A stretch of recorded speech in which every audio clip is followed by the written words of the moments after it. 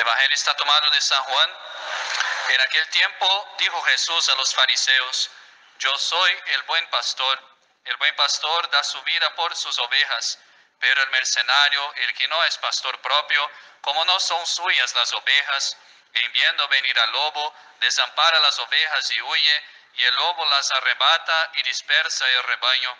El mercenario huye porque es asalariado y no tiene interés en las ovejas. Yo soy el buen pastor y conozco mis ovejas y las mías me conocen a mí, así como me conoce a mí mi Padre y yo conozco a mi Padre. Yo doy mi vida por mis ovejas. Tengo también otras ovejas que no son de este aprisco, las cuales debo recoger, y oirá mi voz, y se hará un solo rebaño y un solo pastor. En nombre del Padre, del Hijo del Espíritu Santo. Amén. Hermanos fieles, hoy celebramos el segundo domingo después de Pascua, conocido por el Evangelio que acabamos de leer como el domingo del buen pastor. Además, de esa colecta que se hace al final de la misa en todas nuestras capillas por las obras del seminario, también es costumbre en todas nuestras casas que se predique en ese día sobre el sacerdocio, sobre las vocaciones. Y difícil es encontrar una autoridad mejor para hablar hoy del sacerdocio que nuestro venerable fundador, Monsieur Lefebvre. Por lo que, más que un sermón preparado por padre Juliano, es un, eh, una de textos de nuestro venerable fundador, Monsieur Lefebvre, hablando de un lado del sacerdocio católico, como debe ser, como él lo preservó, y por otro lado de la decadencia del sacerdocio, como vemos hoy, el cambio que se, los cambios que se presentan debido especialmente a las reformas del último concilio, del Concilio Vaticano II. Lo primero y más importante es la definición del sacerdocio, la razón de ser del sacerdocio. Monsieur Lefebvre mira y de ahí nace toda su, todo su pensamiento, que es el pensamiento de la iglesia, sobre el sacerdocio desde su centro. ¿Y cuál es el centro del sacerdocio católico? La Santa Misa. Dice él, Monsieur Lefebvre, dirigiéndose a los sacerdotes, la única gran oración es el santo sacrificio de la misa. Este será el corazón de vuestro apostolado. Sois sacerdotes en primer lugar de un sacerdocio de oración, de alabanza y de adoración. Sois sacerdotes en segundo lugar de un sacerdocio santificador de vuestras almas y de las almas de vuestros prójimos. El sacerdote es el mediador como nuestro Señor, por eso otro Cristo, que trae lo sagrado, que da lo sagrado, como dice la palabra, sacerdos, para las almas y eleva nuestras súplicas a Dios nuestro Señor. Función que se realiza especialmente y centralmente en el santo sacrificio de la misa. Con todo, hoy, infelizmente, para nuestra tristeza, vemos que hay un otro tipo de sacerdote, fruto sí de las innovaciones del último concilio y sus antecedentes. Dice Monseñor, desde antes ya del concilio, la iglesia sufrió una crisis, de modo que los sacerdotes se volvieron hacia los medios naturales, como era de prever. Intentaron organizar las cosas, pero igual que podrían hacerlo los protestantes o cualquier otra secta, es decir, sin fundarse en la oración, en el Espíritu de Dios y en el Espíritu sobrenatural. Sigue en otro lugar, Monseñor, preguntándose por qué tantos sacerdotes han abandonado su sacerdocio, sino precisamente porque con la destrucción del sacrificio de la misa se ha llegado a herirlos en su corazón. La razón de esa crisis actual de la iglesia y del sacerdocio, de cambio que se ve en los sacerdotes, es que infelizmente ya no saben más para qué están hechos. Porque ya no centra más su vida en la Santa Misa y en todo que de ella se irradia. Podemos decir, seguimos Señor, con toda verdad, que los seminarios se suicidaron el día en que, rompiendo el altar del sacrificio, lo reemplazaron con la mesa de una comida. se suicidaron los seminarios en el día en que, rompiendo el altar del sacrificio, lo reemplazaron con la mesa de una comida. El día que quitaron la Santa Misa, el santo sacrificio de la misa, de su centro. En cambio, quien tuvo la gracia, por ahí merecida de ser formado en la fraternidad sacerdotal San Pío X, esa obra de Monsieur Lefebvre, aprendió desde el principio de este santo obispo la importancia y la centralidad del santo sacrificio de la misa. La misa, dice Monseñor, la misa católica ha sido, sigue siendo y será siempre el gran programa sacerdotal y el gran programa de la vida cristiana. Jesús está ahí, presente en nuestras manos, con su cuerpo, sangre, alma y divinidad, en su gloria, rodeado de todos los santos y ángeles del cielo. Está ahí en las manos del sacerdote. Tal es, en definitiva, el corazón, la esencia y la finalidad misma de la ordenación el santo sacrificio de la misa. Y el primer paso de ese programa sacerdotal que queremos, Señor, que parte, que principia en la Santa Misa, es el deseo de santidad que debe brotar y debe estar en el corazón de todos los sacerdotes. Aunque no todos los sacerdotes son santos, como pueden ver ustedes, deberíamos sí, y eso siempre la iglesia lo quiso, apuntar a la santidad, como la, la flecha apunta al blanco. Dios quiere, dice Señor, que sus sacerdotes sean santos, puros y castos. El sacerdote convierte a las almas manifestándoles la santidad de la iglesia a través de sus virtudes. El mejor apostolado del sacerdote es que sea santo, así como el mejor apostolado nuestro es que seamos santos. Por eso, cuando vemos los sacerdotes, como decía otra vez, si no me, recuerdo mal acá mismo, cuando vemos los sacerdotes rezando su breviario, haciendo su meditación, a veces siendo un poco rígidos y duros con los límites que ponen para cumplir sus devociones personales, no es por amargura, sino para el bien del alma del sacerdote y también, por consecuencia, para el bien de los fieles también. El sacerdote cuando se santifica, santifica también a los demás. Basta ver para contemplar por el otro lado esa realidad cuán desacralizado, cuán mundano es el sacerdote hoy, el sacerdote fruto del concilio.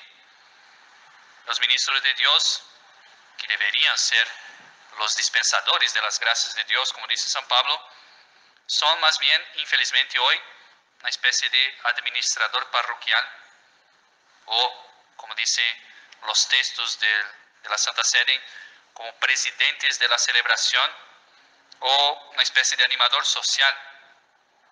Poco a poco, dice Monseñor, se va esbozando un nuevo credo en su mente, el credo del progreso, de la acción sindical y política. Por eso vemos tantos sacerdotes reemplazando la predicación de las virtudes, de la penitencia y de la oración por la predicación de una justicia social, del amor a los pobres al estilo marxista, porque perdieron su centro. Como la doctrina moderna, infelizmente, olvídase de la cruz, que es precio del pecado, que nuestro Señor murió para pagar el pecado, termina también por entender los mismos sacramentos que el sacerdote dispensa de un modo distinto. Para no hablar de todos, la confesión, por ejemplo, ya se ve hoy en día como una especie de catarsis o desahogo. Ya no se corrige más el pecador, ni se habla del pecado, sino en cuanto afecta al otro. Si es una cosa solo mía, ya no se dice más que es pecado. No se usa más los confesionarios, no se arrodilla para recibir el sacramento, como si el pecador ya no tuviera ninguna deuda que pagar, como si ya no mereciera ningún castigo. Pero los sacramentos que brotan de la misa de siempre, esos sí son verdaderos.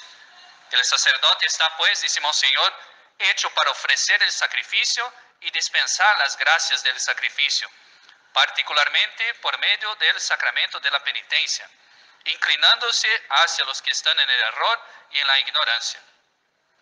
Aunque el sacerdote mismo sea pecador también, y por eso necesita confesar, otorga por la gracia de Dios la gracia en la absolución. El pecador en el confesionario está como un reo que tiene un precio que pagar, un pecado que confesar, y es lavado por esa sangre divina que borra sus culpas por la infusión de la gracia de Dios. Otro punto importante de la vida sacerdotal y que infelizmente se va perdiendo y se va cuestionando en los días actuales es el celibato, la castidad. Monseñor ve ese don que nos otorga la iglesia, esa gracia de ser celibatarios, como una imitación de la Virgen María. Si Dios, dice Monseñor, quiso que María fuera santa, sin pecado, inmaculada en su concepción, pura y virginal de todo pecado y de todo contacto con el mundo, también debe serlo el sacerdote. Hay muchas hermosas razones para defender el celibato sacerdotal, pero quizá esta sea la más sublime, la más bonita, así como nuestro Señor Dios quiso que la Virgen, para ser madre de Dios, del Verbo que se hizo carne, fuera virgen, inmaculada en su concepción, así quiere Dios para encarnarse en manos del sacerdote en la Eucaristía todos los días, quiere también que sea casto, que sea santo, que sea puro. Pero, dice Monseñor, si se pierde la fe en el sacerdocio y la noción de que el sacerdote está hecho para el único sacrificio, que es el sacrificio del altar, continuación del sacrificio de nuestro Señor, también se pierde el sentido del celibato. Dada la igualdad que hoy en día se pretende establecer entre laicos y sacerdotes, de tal modo que los laicos se vuelvan sacerdotes y los sacerdotes se vuelvan laicos, los propios sacerdotes se dicen, si somos hombres como los demás y no somos distintos de ellos, ¿por qué no casarnos nosotros también? De hecho es así. El sacerdote que no centra su vida en la Santa Misa, que es un simple administrador parroquial, se pregunta si los demás administradores se casan y no tienen ningún problema con eso, ¿por qué yo también no puedo casar? Y se cuestiona hoy en día esa gran gracia del celibato. Por esa misma desacralización del sacerdocio hoy en día, se ha también abandonado la sotana. Esta vestimenta, que en palabras de Monseñor, debe ser distintivo y expresar al mismo tiempo un espíritu de modestia, de discreción y de pobreza, ahora infelizmente está colgada en los armarios cuando la tiene el sacerdote. ¿Por qué? Porque dicen algunos que la sotana bloquea a la gente, que la gente se siente alejada por la sotana. La sotana aleja al pueblo. ¿Qué engaño? ¿Cuánto predica la sotana el amor de Dios, la verdad de la religión católica en esa sociedad secularizada?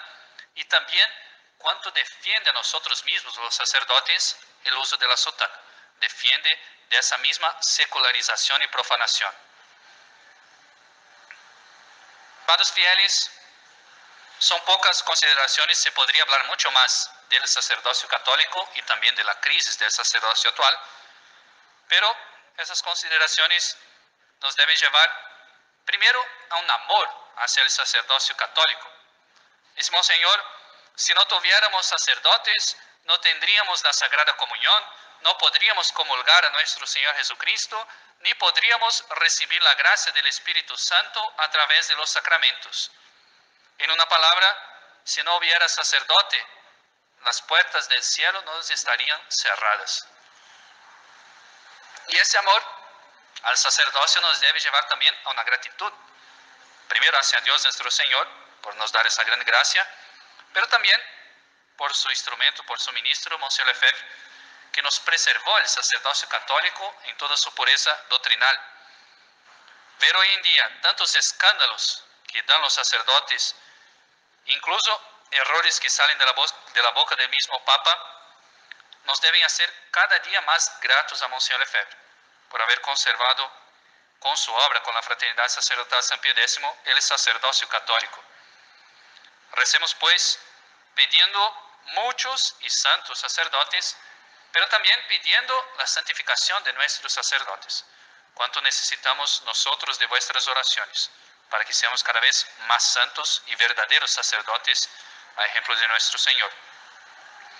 Termino con las palabras mismas de Monseñor Lefebvre, hablando de esa obra de la fraternidad sacerdotal San Pío X. Esperamos que la fraternidad ha sido querida por Dios para que la santidad sacerdotal permanezca aún en el mundo. Ojalá que nuestra fraternidad sea una luz en el mundo para que con la gracia de Dios todos los que con nosotros han comprendido la necesidad de vivir los preceptos del Evangelio procuren alcanzar la santidad mediante la oración, la abnegación y la renuncia de la cruz. Tal es nuestra razón de ser, queridos amigos. Si perdemos el camino de la santidad, perdemos nuestra razón de ser. Ave María Purísima. En nombre del Padre, del Hijo y del Espíritu Santo. Amén.